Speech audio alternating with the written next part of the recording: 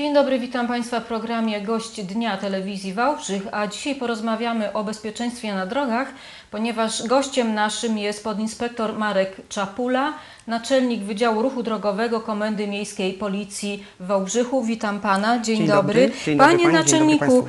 y, czy kierowcy w Wałbrzychu jeżdżą lepiej, gorzej, tak samo jak kierowcy w Polsce czy w, w reszcie regionu? Jak to wygląda u nas?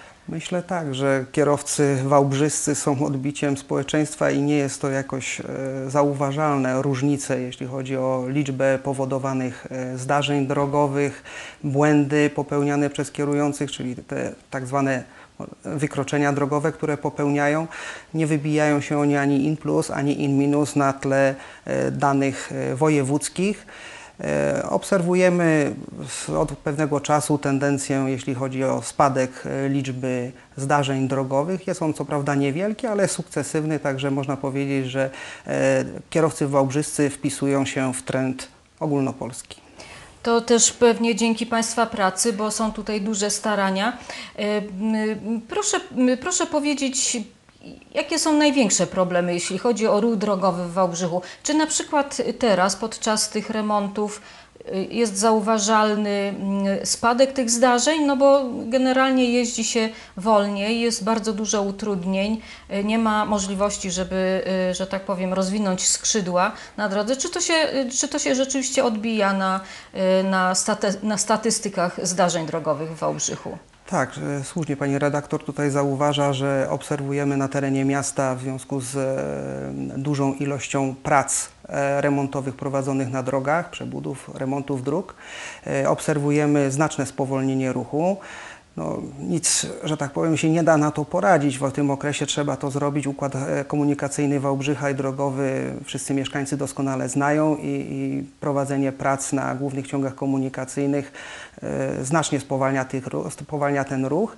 Obserwujemy statystycznie oczywiście e, zmniejszenie liczby zdarzeń o charakterze wypadków drogowych na terenie miasta Wałbrzycha, jeśli chodzi o główne ciągi komunikacyjne, z uwagi na spowolnienie tego ruchu, choć w dalszym ciągu e, duże zagęszczenie ruchu powoduje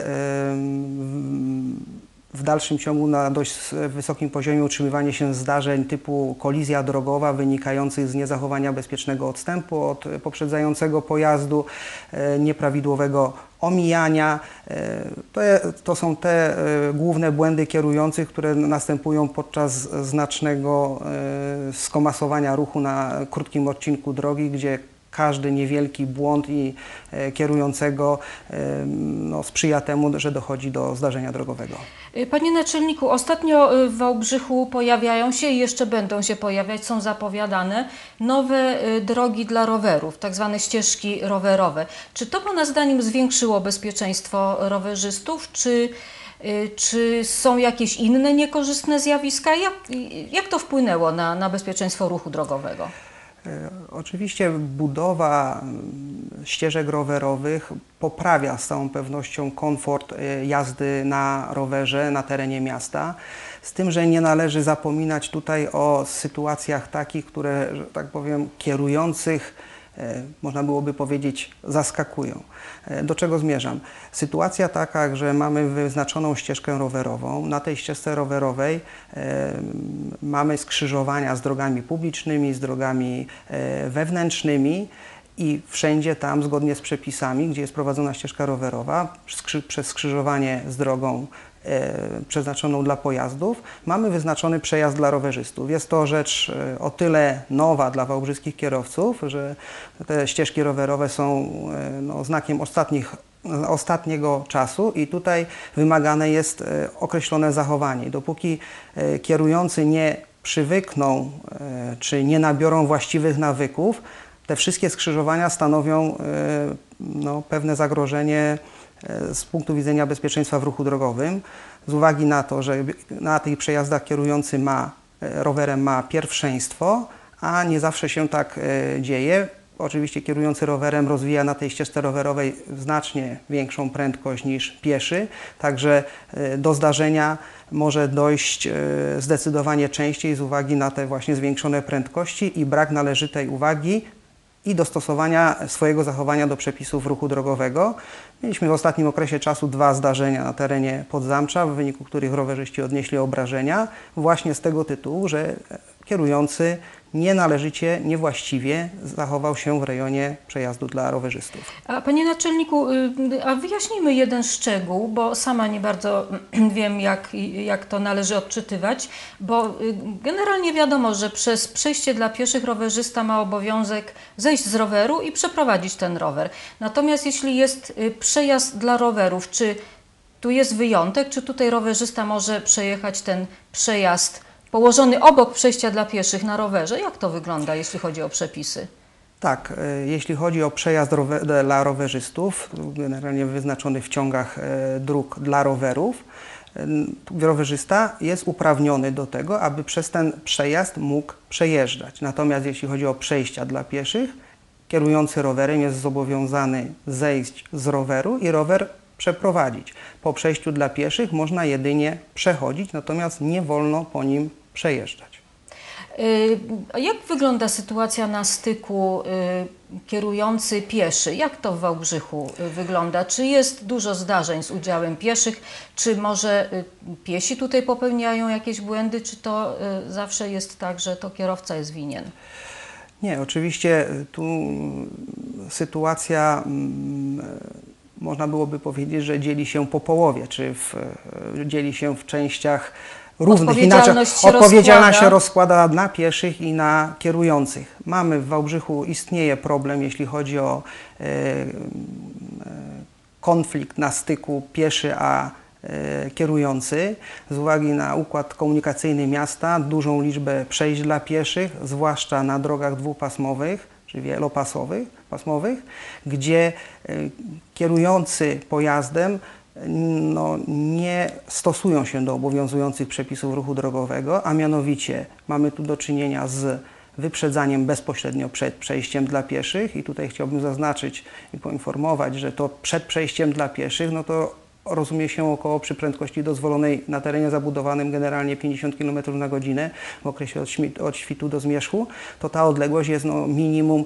25 i więcej metrowa. Ale za to chyba grożą spore sankcje. Tak tego, jest, no, jest, to bardzo I chyba niebezpie- słusznie. jest to bardzo niebezpieczne wykroczenie, powie- ponieważ no, wiąże się w przypadku e, kolizji oczywiście pieszy, a pojazd przy prędkości 50 km na godzinę, no to tę szansę pieszego na przeżycie czy odniesienie słabych, minimalnych czy niewielkich obrażeń ciała są znikome. Są to poważne zdarzenia skutkowe i tutaj no, niestety na terenie miasta Wałbrzycha e, mieliśmy w- ostatnim okresie kilka takich zdarzeń, gdzie no, pie, kierujący e, wyprzedzał na przejściu dla pieszych, bądź też nawet dochodzi do omijania pojazdu, który zatrzymał się celem udzielenia pierwszeństwa pieszemu, a kierujący drugim pojazdem z drugiego pasa omijał ten pojazd, mimo tego, że na przejściu znajdowali się piesi. Oczywiście, jak wspomniałem, i piesi nie są tu bez winy. Oczywiście przysługuje im pierwszeństwo na przejściu dla pieszych, ale pieszy nie może zapominać o tym, że wejście na przejście dla pieszych bezpośrednio przed pojazdem no, uniemożliwia kierującemu podjęcie skutecznego manewru obronnego, hamowania bądź omijania tego pieszego, ponieważ no, wymagane, wymagania... droga hamowania. Oczywiście droga hamowania, czas podjęcia reakcji, no, a gdy wejście następuje przed, generalnie przed samą maską samochodu, to mamy tutaj do czynienia z sytuacją, no, która, której, że tak powiem, zapobiec się nie da. Jeśli omawiamy tutaj jeśli, sytuację pieszych, a kierujących, chciałbym zwrócić uwagę oczywiście miejsc parkingowych w każdym mieście w tym kraju jest za mało generalnie rzecz biorąc, ale nie Tak, możemy niestety. dopuścić do tego, aby pojazdy były parkowane w rejonie przejścia dla pieszych, czyli na drodze dwukierunkowej 10 metrów przed i za przejściem dla pieszych, ponieważ pojazdy zaparkowane w ten sposób stwarzają za realne zagrożenie bezpieczeństwa. Zasłaniają widok widoczność kierującemu i wtedy za pojazdu praktycznie już na połowie jezdni e, kierowca jadący widzi pieszego, który wchodzi bezpośrednio no, przed pojazd, a widoczność wtedy jest ograniczona. Nie wspomnę tutaj o dzieciach, które są, są z uwagi na niewielki wzrost, mają Mało tutaj jeszcze, małe, są jeszcze mniej widoczne. Mhm. Panie naczelniku, czy są w Wałbrzychu takie miejsca, które przysparzają policji y, dużo więcej pracy i dużo więcej interwencji, czy to się tak rozkłada po mieście? Czy ostatnie na przykład y, prace drogowe, te wszelkie remonty,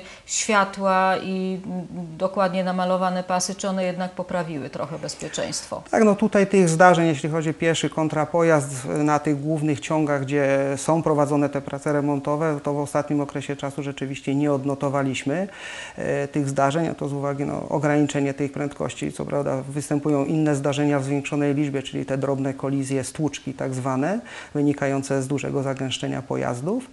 E, Natomiast e, tutaj, jeśli chodzi o te miejsca, które mm, e, Przysparzają przysparzają trudności i, i spędzają sens powiek poli, policjantom wałbrzyskiej drogówki, no to tutaj główny ciąg, jeśli chodzi o ulicę kolejową i te przejścia dla pieszych, które tutaj występują oraz ciąg ulicy, ciąg ulicy Wysockiego, Wyzwolenia, Mickiewicza, gdzie rzeczywiście ruch pieszych jest e, duży, piesi przechodzą w różnych miejscach, niekoniecznie e, bezpiecznych z punktu widzenia na nich, bądź dozwolonych, jeśli chodzi o... I duży te- ruch i duży, I duży samochodów. ruch samochodów. No, generuje to e, szereg sytuacji kolizyjnych. Co prawda niektóre, nie wszystkie kończą się obrażeniami ciała, no ale tutaj należałoby zachować zdwojoną uwagę, aby można było tych sytuacji niebezpiecznych uniknąć. I to dotyczy zarówno pieszych, jak i kierujących.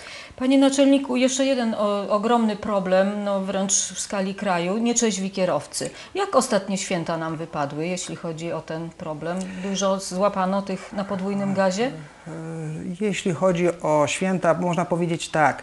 e, Problematyka nietrzeźwych kierujących czy kierujących znajdujących się pod wpływem alkoholu e, jest e, od lat, można powiedzieć. Temat na te- odrębną rozmowę Tak jest, chyba. to jest temat na Mhm. odrębną rozmowę, ale chciałem powiedzieć, że no od lat e, Wydział Ruchu Drogowego Komendy Miejskiej w Wałbrzychu e, sobie stawia za m, jedno z podstawowych zadań ograniczenie tego zjawiska. E, Wielość akcji, za utrudnienia oczywiście przepraszamy tu e, kierujących, No kierowców to chyba nie wałbrzyskich. ma co przepraszać. No niejednokrotnie jest to tak, staramy się zorganizować to e, w mia- w miarę jak najmożliwie sprawnie najmniejszym kosztem. przecież. Pozyskaliśmy urządzenia, które dają możliwość sprawnego, no ale e, nie da inaczej się wyeliminować tych kierowców e, na podwójnym gazie, jak nie prowadząc tych kontroli. I muszę powiedzieć, no zmasowaność przez ostatni okres czasu, kilka lat ostatnich e, prowadzonych tych działań pozwoliła na ograniczenie liczby zarówno e, zdarzeń popełnianych przez kierujących na podwójnym gazie, jak i e, z, e, od ubiegłego roku notujemy spadek liczby ujawnień przy wzroście liczby kontroli.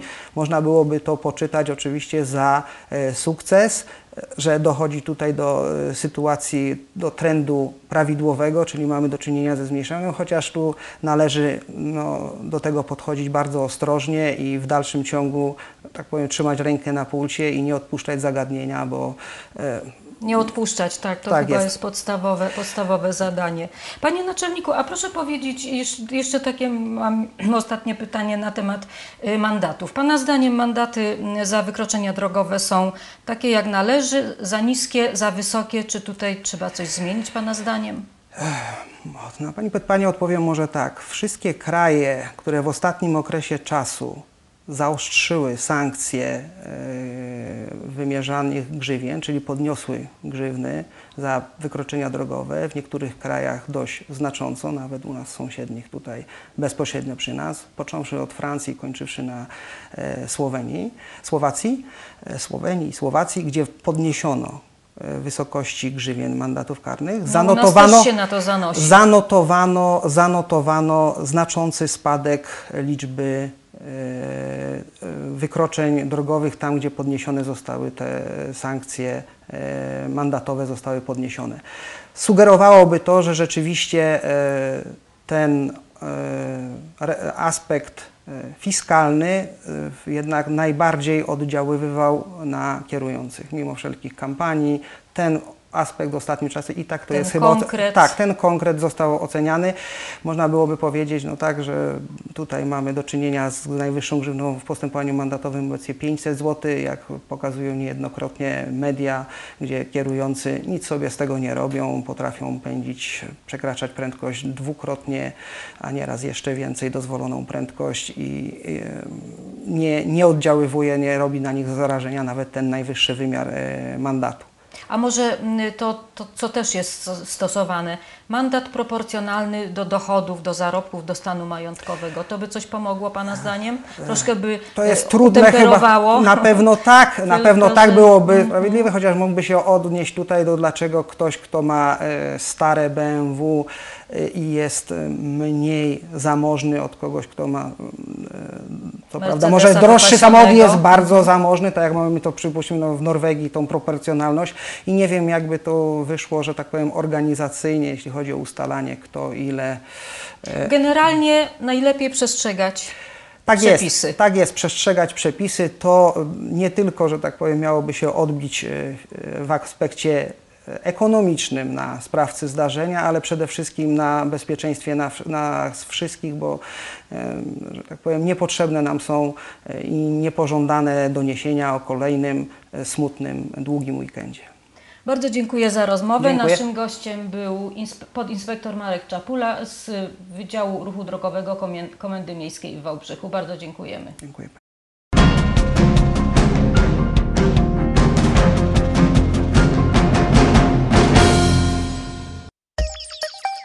Nasze serwisy informacyjne i program Gość Dnia również w internecie www.tvwałbrzych.pl Więcej informacji znajdziesz też na portalu wałbrzych24.com